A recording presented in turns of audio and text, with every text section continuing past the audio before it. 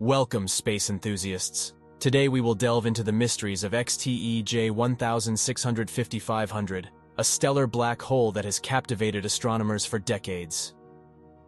Located in the Milky Way galaxy, XTE J16500 is a stellar mass black hole that formed from the collapse of dying stars. It's a relatively small black hole compared to the supermassive black holes that reside at the centers of galaxies.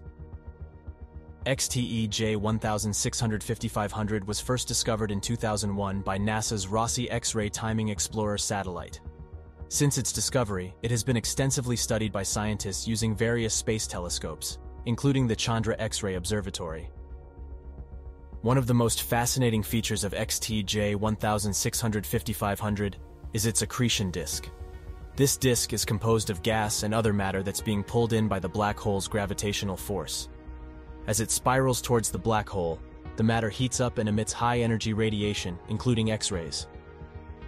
XTEJ 16500 is also known for its powerful jets of particles that are emitted from its poles.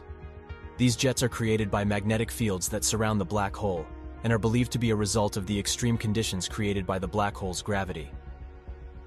Scientific research on XTEJ 16500 has provided valuable insights into the behavior of black holes, how they form, and how they affect their surroundings. The data gathered from the study of XTEJ 16500 has helped to advance our understanding of the universe. The upcoming launch of the James Webb Space Telescope and several other new telescopes will provide even more opportunities for scientists to learn about XTEJ 16500 and other black holes in the universe. The study of XTEJ 16500 will continue to be an important area of research in astronomy.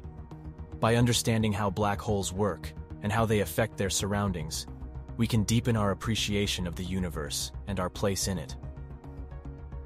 Thanks for joining us today. Don't forget to subscribe to our channel for more exciting space-related content.